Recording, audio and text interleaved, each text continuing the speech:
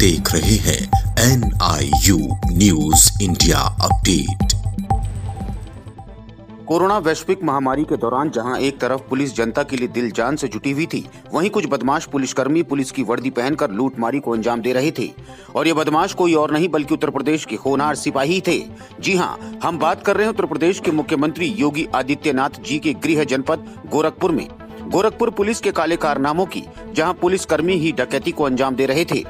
Uttar Pradesh police ने मुखबिर की सूचना पर मुखबिर सहित गोरखपुर पुलिस के आधा दर्जन लोगों को डकैती के आरोप में लूटी गई रकम सहित पकड़ा है, जिस खबर से पूरे प्रदेश में सनसनी मच गई है और हर कोई सवाल पूछ रहा है कि आखिर रक्षक ही अगर भक्षक बन जाएँगे तो समाज की सुरक्षा कैसे संभव हो पाएगी। गोरखपुर पुलिस ने खुद इसकी जानकारी प्रेस कॉन्फ्रेंस करके दी। Bureau report, NIU news.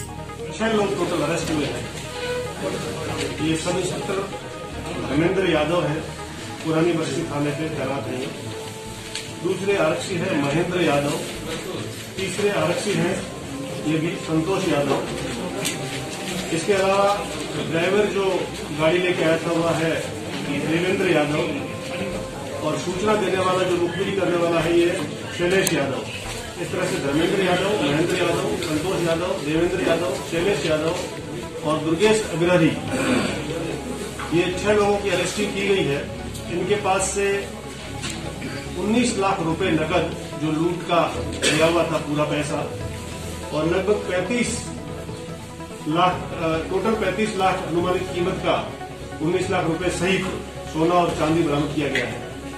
सोना 345 ग्राम है, जिसकी कीमत लगभग 12 लाख रुपए है और चांदी 4 किलो 77 ग्राम है, जिसकी कीमत लगभग 4 लाख रुपए है। टोटल इस तरह से 35 लाख रुपए की बरामदगी हुई है और ये शत प्रतिशत बरामदगी है। पूछताछ जब कड़ाई से की गई तो हाँ एक घटना इन्होंने और स्वीकार की जो इन्होंने 29 बारह 2020 को की थी जनपद, गोरखपुर के ही थाना शाहपुर एरिया में और लगभग डेढ़ घंटे तक सराफा को घुमाते हुए और कस्टम अधिकारी बनकर के इन लोगों ने।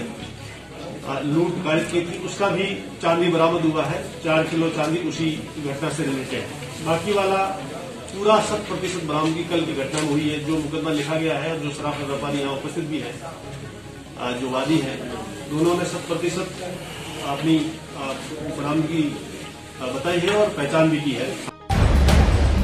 आप देख रहे हैं N I U news India update